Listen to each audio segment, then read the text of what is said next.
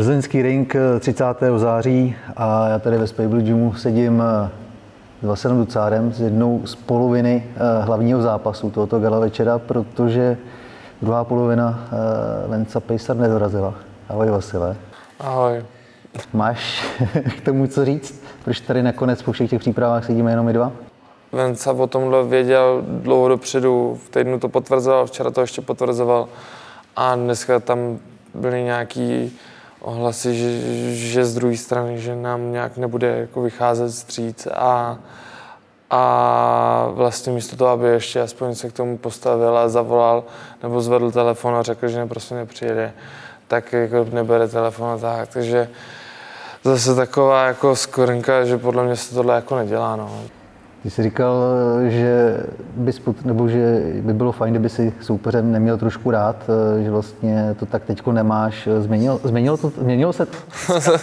Nevím, jestli si to vzal k srdci, snaží se jako svědomit, no, protože fakt takovýhle, takovýhle fuck upy, podle mě jsme tady nějaká komunita, chcem, chcem to jako budovat společně a žádnou rivalitu už nemáme a vlastně se mohli přijít a, a vlastně bylo by to i pro něj přínos, jako pro něho promo a, a vlastně to zhatí, ale nejenom mě, to tak, a to o nic nejde, ale tady zatím stojí jako x lidí, stojí to nějaký peníze, čas, úsilí a vlastně kvůli tomu, že někdo má nějakou, nevím, myšlenku nebo spíš nemyšlenku, tak, tak se tak se jako potopí spousta lidí. Kdyby aspoň to řekl jako dopředu, tak eh, se to nemuselo vůbec tady dělat a bylo by to.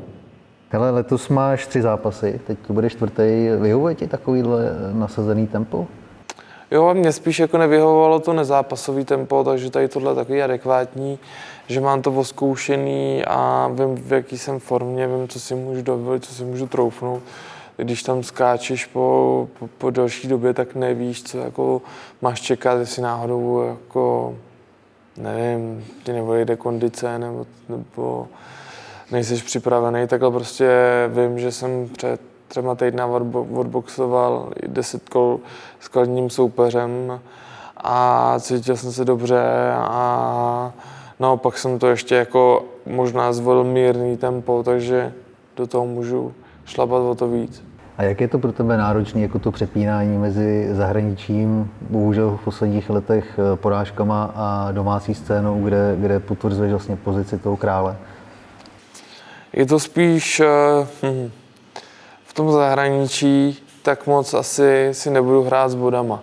Protože ať si myslím, že jsem byl kolikrát venku třeba bodově, nechci říct, že jsem byl jako třeba bodově lepší, ale určitě jsem nebyl na tom bodově tak, jak to nabodovali.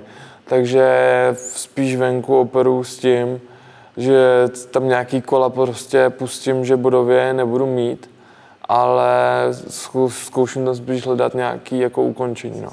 Protože mám na spoustu zápasů, co, co bych si prostě nabodoval, já nevím, třeba minimálně třeba pět kol, možná i víc. A oni ti dají jedno, dvě.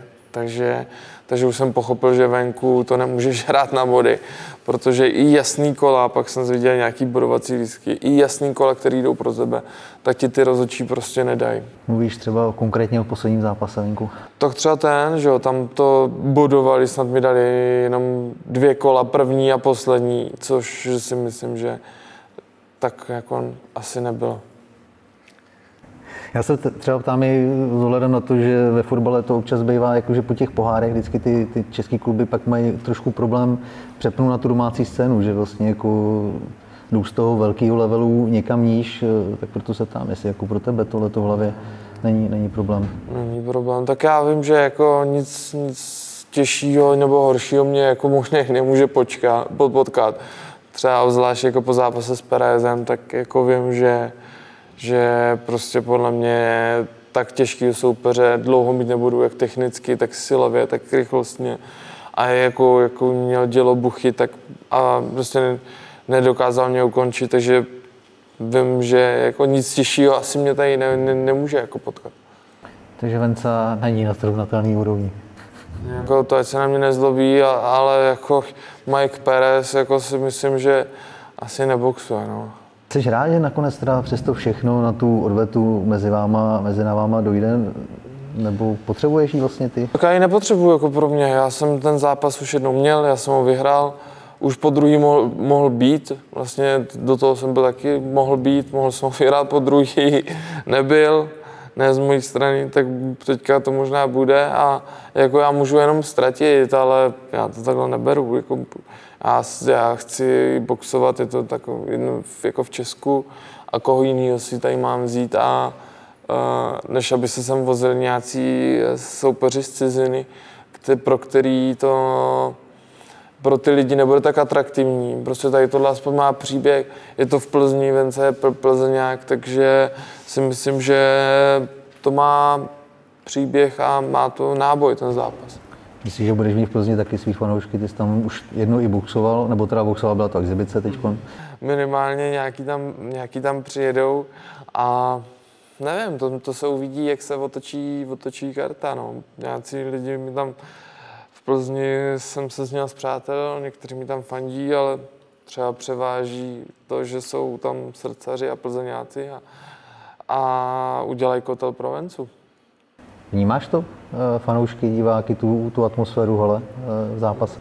A bereš to asi tak, že jako, ať bouří, jak bouří, prostě důležitý je ten kotel, že asi ti ne, úplně tak jako ne, neřešíš, co říkají. Nebo no to, to jo, tak vnímat. někdy mě to sere, protože někdy mě to fakt sere, protože když jsi třeba venku a, a borec tam udělá jeden úder, se tě takhle dotkne a teď to ta hala takhle zabouří a teďka ty tam vysypeš nějaký kombo a fakt cítíš, že stvrdě natrefil, borci takhle letí hlava a nic a on zase ti šáhne takhle po ramenu a oni úplně jsou z toho nadšení, tak to, to, to, mě, to mě jako občas jako vadí, že, že to není objektivní a i tím se strhávají ti rozhodčí, že? protože když ten rozhodčí se subjektivně taky jako za tím uh, ohlasem toho davu jako nechá vtáhnout do toho boje. Já se nemůžu nevrátit zase k Vencovi, ty jsi to zmínil ten minulý rok, eh, že to mohlo být zápas, nemusel, eh, dopadlo to tak, jak to dopadlo. Eh, pak když si člověk četl ty články a podobně, mi skoro i přišlo, že vás to možná i to hecování se po sítích trošku baví, ten trash talk. Tak mě to, já, já nikoho nehecu, že jo, tak to bylo to, to stejný, dneska tady Vence mohl být, mohl to všechno říct. Už to přijde ani neúsměvný, spíš smutný. Neovlivňuje tady to třeba i to, že jsme fakt jako malá země a že se všichni, všichni v této bojové scéně znáte. Ty se znáš dobře s Matoušem, on se zná Matoušem. No, to ovlivňuje ty lidi, že jsou buď jako nejsou korektní, no, tak to vidíš třeba dneska, to jednání, tak to tenkrát, že si podali ruku, si zálohu, a, to, a ani to nebyl schopný přijít, říct jak nějak na rovinu a vymlouvá se na ostatní. No. Když ještě teda jsme u toho treštolku, jak, nebo kam až, jako, nebo co je pro tebe přes šáru? Eh, tohle to vlastně takový, jako dá se říct, kočkování, kam ty by si jako nebyl schopen nebo ochoten zajít, nebo co by ti vadilo z druhé strany, jako kdyby, kdyby, kdyby ten soupeř jako zkusil? A tak já nedělám žádný treštok, že jo? Já, já mám doma rodinu a, a chci pořád, a myslím si, že to má být pořád v nějakých jako mezích, tak aby uh, ta, ty moje děti se na to mohly dívat. A, a ne, ne, třeba nemohl bych jako něco schovávat, že se za to stydím. A to stejný očekávám z druhé strany, že prostě jsou nějaké hranice a já na nikoho ani subjektivně jako neútočím.